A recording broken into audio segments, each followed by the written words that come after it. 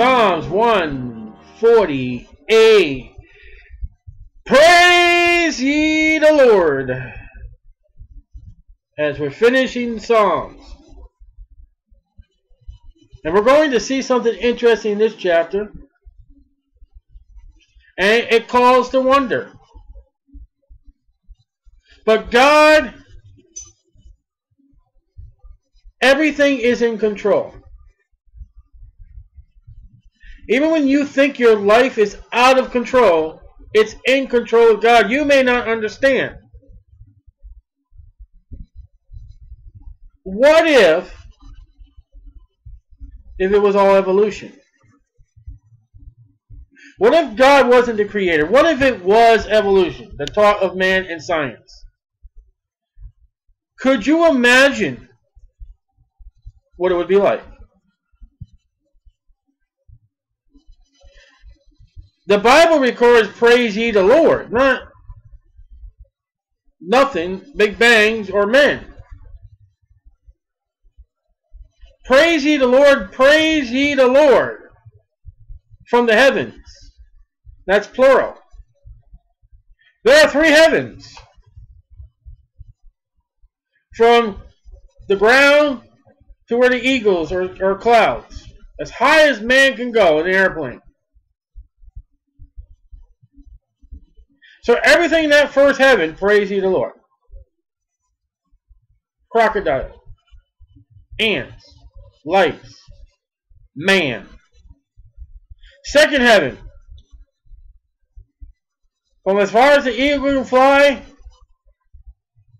to that solid ice foundation that no one can break through, that is before God's throne. The Bible speaks about principalities, Satan, the dragon, are there. That is not man's territory. The devils and Satan and the principalities praise ye the Lord. You think those satellites that are out there by man, you think they praise the Lord? And then you got the third heaven, God's holy heaven, capital H. Angels, seraphims, the saints. Praise ye the Lord. Praise him in the heights. Mountains, I guess. You're up on the roof, praise ye the Lord. All the times you read about in the Bible, they were up on the roof. Praise ye the Lord. Praise ye him, God, all his angels. So the angels are to praise the Lord. As I read to you last night, Revelation chapter 14, we were created to worship and praise the Lord. If you don't praise the Lord, you are violating what you were created for. You weren't created for money. You weren't created for sex. You weren't created for fame.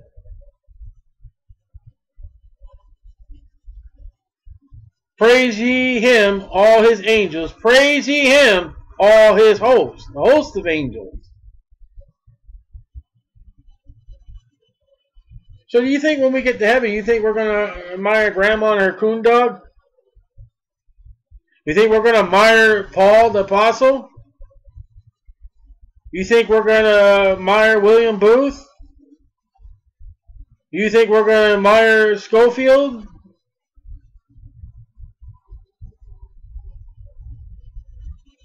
You think we're going to admire any of the, the, the, the preachers that brought the revival in America? No. Now, they may have been great men. They may have been men that God used, but we're not going to lift up man. We're going to lift up Jesus Christ, unison, unity. Imagine everybody for once without sin in a unified voice praising God and singing praises to God. We don't even sing the same hymns in all the churches at the same time on Sunday mornings as we're meeting. Listen, when we meet Sunday morning, in Daytona Beach, Florida. England has already had church services and they're probably over with. Iraq services to God are completely over with and done. When we meet to worship God and we start singing praises to God, people in Texas are still in bed. Just getting up. People in Washington State are long in the middle of the morning still sleeping and have not gone to church yet.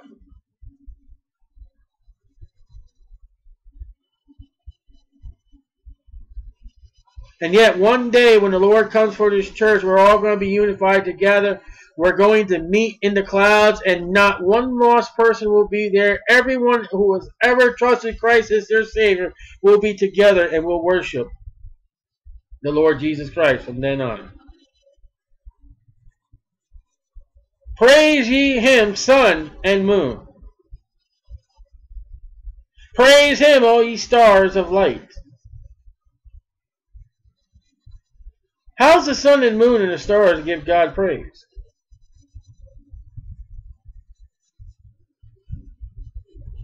One time God told the sun, he says, don't you move.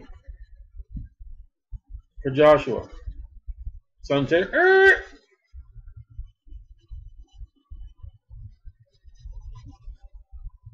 Every morning, sun, I want you to raise. I want you to go down. Don't you stop anywhere. Okay. One day, sun, I want you to go. I'm talking about the solar system, sun. I'm talking S-U-N. One day, I'm not going to have you burn. I'm going to have you go out. Okay. And the Bible speaks out in the millennium, he's going to relight it. Or whatever he's going to do. The moon. How does the moon praise the Lord? It's all obedience to the Creator, unlike man. You don't look up to the sky and you know look look at the newspapers. Hey, look at that! It's supposed to be waxing, and you go out there. There it is, and you tell your sweetheart, "Honey, it's a it's a full moon tonight. Let's go watch it." And you go outside, and the moon's gone. Don't you say it was full moon tonight? There's not, I don't see a cloud in the sky. That's what the newspaper said. And you get reports for the next day, the moon goes visit the moons of Jupiter. Don't do that. It stays in the Earth's orbit. Yet man, he'll go venture where he doesn't belong. And all the moons, in all our solar system, and all the universe. Praise him, verse 4, ye heavens of heavens and ye waters that be above the heavens. Uh-oh. There's a study right there, Genesis chapter 1. There's waters above your head. I guess that's why they send spaceships and nautical men with, with uh, pilots using a compass. But they don't know what they're doing. Space is water. But we're not talking about that. We're not talking about science. We're not talking about position. We're talking about the creation giving God praise. Let them praise the name of the Lord, Jehovah, Jesus. For he commanded and they were created. Genesis 1. Let there be light. Boom, there was.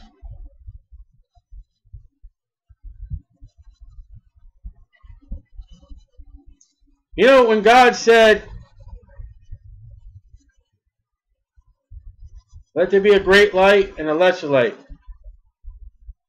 and God's sitting around, one of these moments is going to come. Hold on, angels. Relax. Okay, there it is. no. There was the sun and the moon when, when, when God said, let there be. Man, I want you to go do this. And then God's got to wait. You know, the only thing that God created that does not obey God is the one that God for so loved the world that He gave His only begotten Son, that whosoever believes in Him shall not perish but shall have everlasting life. The, the fact is that Jesus Christ died for all, but few will go in.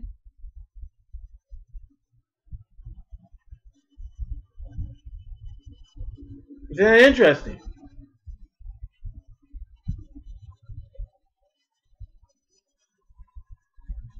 He has also established them forever and ever. He has made a decree which shall not pass. Even the heavens, when it's rolled up and, and, and counseled by fire, that Peter said, it's still going to be there. It's going to be renewed, renamed. The angels will still be there, minus a third of them.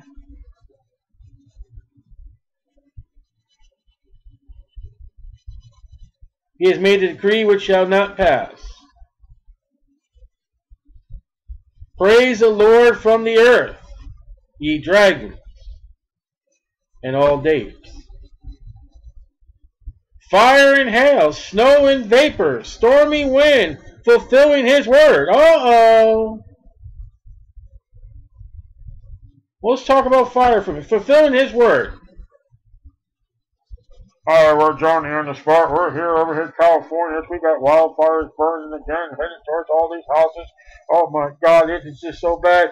But those redwood trees, I believe it is, the trees over there, their seed will not germinate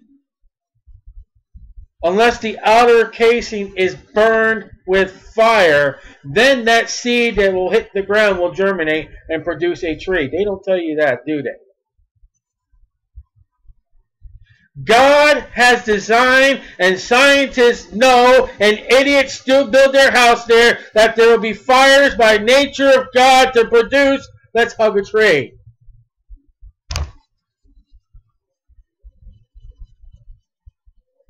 Johnny on the spot is not telling you the whole truth. You shouldn't have built your house there. Let's turn to some real news, alright?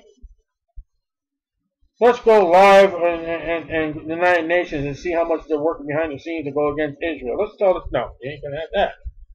Hail. Hail is a reason. What? I don't know.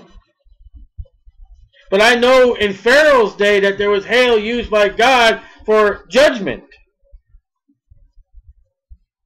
Some people, maybe you gotta get hit on the head with hail to, get some sense now. I don't know. Snow. I hate that one. I hate snow. When I have to drive in it. Snow is a reason. Do you know that snow, the Bible records, has treasures of nitrogen for fertilization of crops? Snow has a fertilizer in it. Did you know that snow purifies the air and cleans the air? and gets out toxins, toxins and some kinds of, of uh, uh, flus and stuff like that. And vapors. Stormy wind. Hurricane. You know I've always said about wind? And it's not a stormy wind. I, you ever watch wind? Wind blows things away. I, I believe wind is God's rake of the earth. Because wind will blow garbage and leaves all away. So why don't you rake your yard? I'll let God do it with his wind. And he will. All the leaves that fall in your yard, if without wind, you, you wouldn't be able to open your door. God blows those leaves and that stuff somewhere. And I don't care where, as long as it's off my property. I don't ever go out there with one of those weed whackers or a rake. I don't ever use any of those things. But the leaves are gone.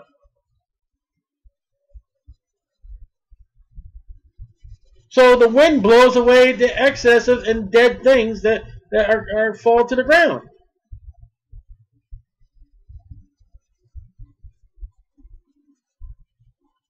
Mountains.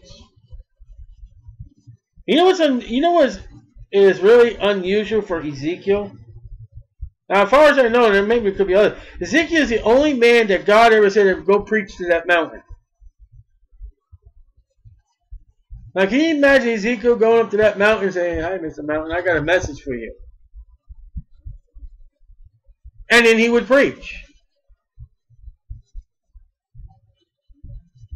And all hills. fruitful trees and all cedars. Have you ever studied trees in the Bible? You know there are places in the Bible that says trees will clap their hands? Now, I, I'm one of those people that I, I think that's going to be literal. Those limbs will be just. That could be wrong. But how are trees and cedars ever going to praise the Lord? By giving fruit.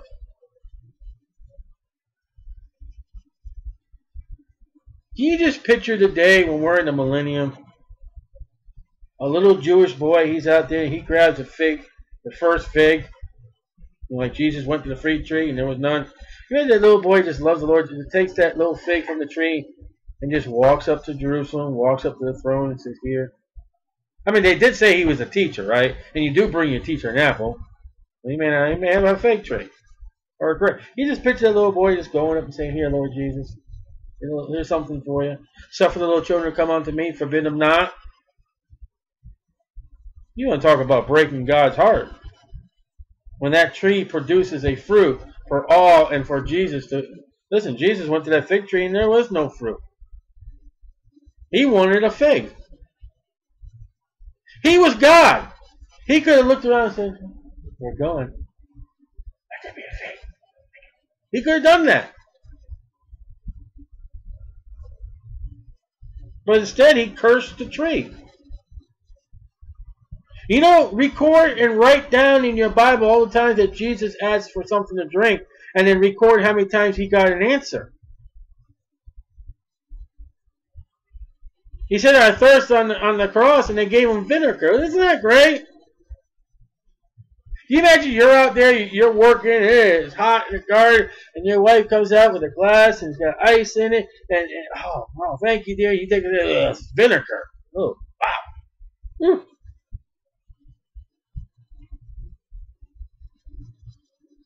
Cedars. They smell good. They smell good when you cut them open or when you burn them. You know the inside of the tabernacle, the temple, was made of cedars? And then they overlaid it with gold.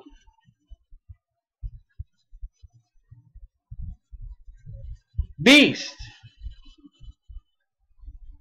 Animals are going to praise the Lord. And all cattle, creepy things, and flying fowl, kings of the earth. Now in the millennium, that's going to be us. We're made unto kings, Revelation 1. All people princes and all judges of the earth. Now that psalm is for today. I don't see anything where it's not. You know, every judge that sits on, on that calls himself a judge is to praise the Lord. Imagine if he don't. Imagine every ruler is told to praise the Lord.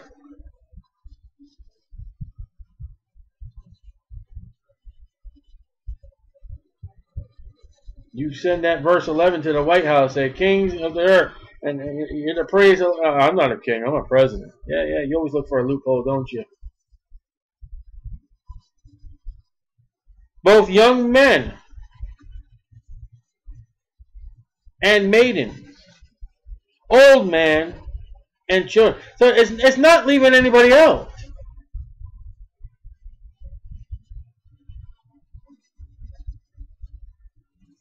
Let them praise the name of the preacher. And that's not it. Let, us, let them praise the name of the Lord.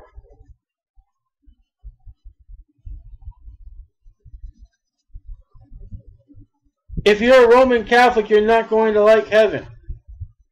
We don't praise Marian popes. Eh, they do things they don't get. Marian popes. You don't marry popes and Mary. We don't honor them names. We don't honor Peter.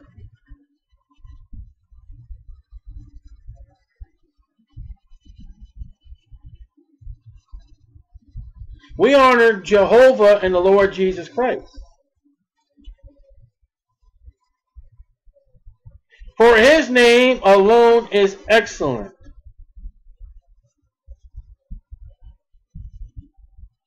His glory is above the earth and heaven.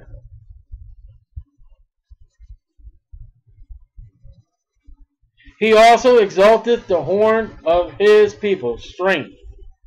His people in the Old Testament are Jews. The praise of all his saints. Again, people who are alive. Go stand in a graveyard for 24 hours and listen to all the Christians praising God. It's not going to happen. Now go into a church which is a Bible believing church, people are saved by the blood of the Lord Jesus Christ, and wait for them to sing. They're going to sing praises of God, the cemetery won't. You can have a Bible believing church with a Bible believing cemetery right outside the church windows. And you sit in that window and you wait to see who's going to sing praises to God. That will tell you who a saint is. even of the children of Israel. A people near unto him. And we close with praise ye the Lord.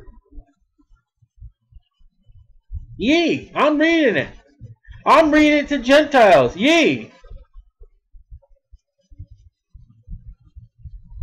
What are you to do? You are to praise the Lord. How do you praise the Lord? You do what God has designed for you. The first thing is to believe on the Lord Jesus Christ and get saved. Well, I don't know what the will of God is for my life. That's the first will. Number two, get baptized for a public testimony. Number three, four, five, six, seven, together Find a Bible believing church. Get in your Bible and read it. Pray, rejoice evermore, and go ye in all the world and preach the gospel. How's that? Isn't that enough to start with? And then God will show you your own individual path to walk. But you are not going to go nowhere. I'm a born again Bible believing Christian. All right. Were you baptized? Well, no, I'm a then you ain't going nowhere. Because God told you to get baptized afterwards as a public testimony. Another thing that the Lord tells you to do is observe the Lord's Supper. Those are the only two ordinances of the of the church today. And I have been in a church where they never even thought about having the Lord's Supper. Why? I don't know. Oh, that's right. They feed the poor.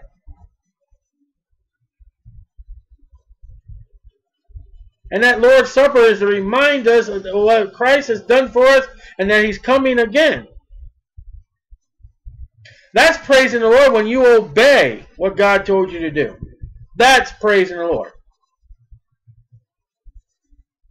When you're out about somewhere and God says, give them a gospel tract, and you obey, that's obeying and praising the Lord.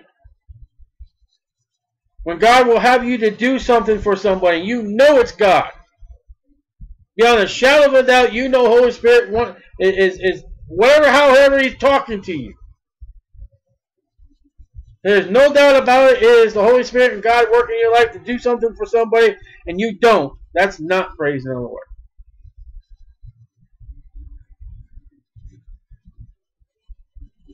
Praising the Lord is when your children are grown and, and you, you walk by the room and, and they're kneeling down and praying to God. That's praising the Lord. Or you, you walk, it may be another different family, and you walk by the room, you hear them playing instruments or singing to God. That's praise the Lord.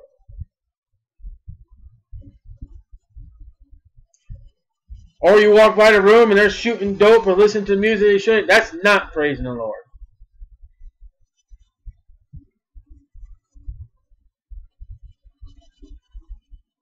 It is time for church service and you're out in a boat. That's not praising the Lord.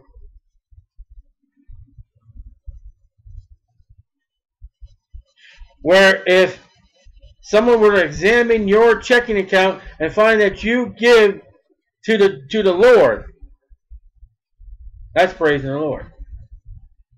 And they find that not only do you give to the Lord, but it is a steady amount you give to the Lord, and then more.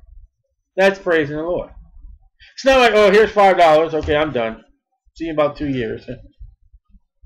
It's week or week after week or by week by week or month after month or whatever. You have a steady amount that you give to the Lord. That praises the Lord.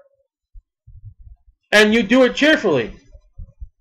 That praises the Lord. Praying for others praises the Lord. Because you're thinking about others and you, you are calling to God as a witness that He can do something for them. And you believe He can do something. That's a quadruple praise to the Lord. Reading His Word from Genesis to Revelation is a praise to the Lord. He wrote it for you to read. He didn't write it for it to be a dust collector.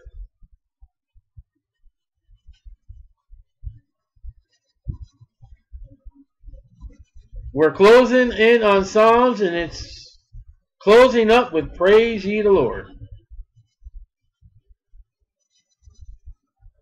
If you didn't do anything to praise the Lord today, you have failed. Don't wait for tomorrow. Tomorrow may never come. Start now. Praise ye the Lord.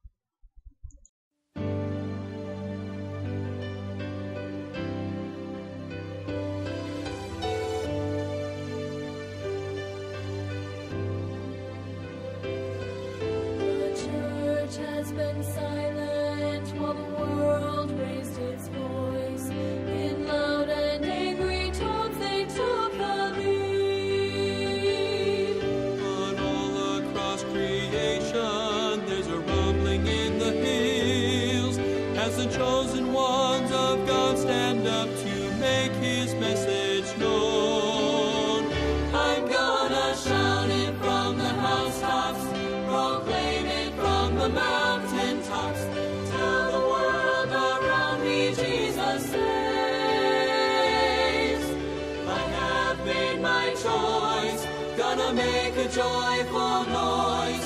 The world will hear my voice. Jesus saves.